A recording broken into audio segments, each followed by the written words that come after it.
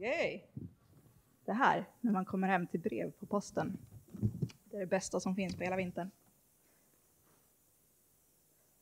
Den första oktober är det dags för ett nytt brev live. Den här gången arrangeras det av Josefin Brochea Hagsgård. Hon är tyvärr inte här idag, så ni får nöja er med mig som är hennes medarrangör. Ehm, Brevlive är, för det av er som inte vet det, en liveform där man alltså brevväxlar med varandra.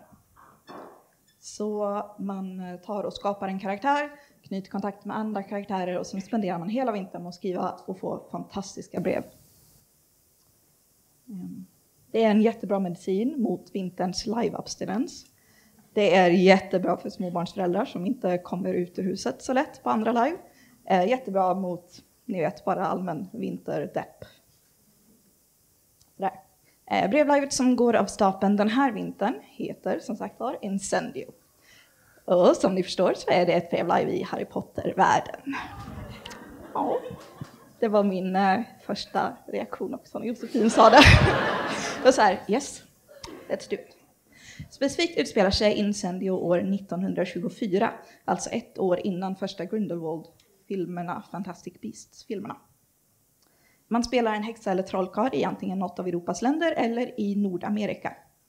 Eh, och premissen är att Daily Prophet tillsammans med andra stora tidningar har utlyst ett brevlotteri för att främja gemenskapen mellan länder i en värld som alltmer präglas av segregation i och med Grindelwald och så vidare.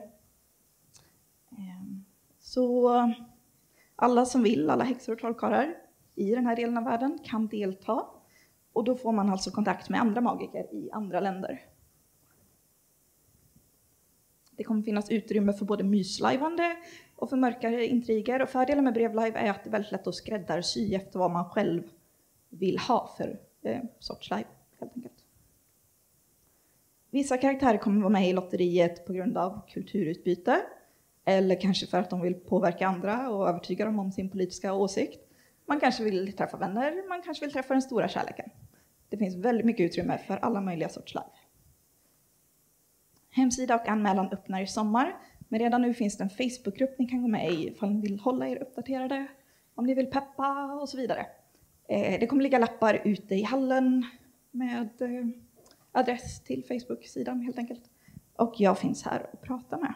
Jag ser jättemycket fram emot det här och jag hoppas att ni gör det också.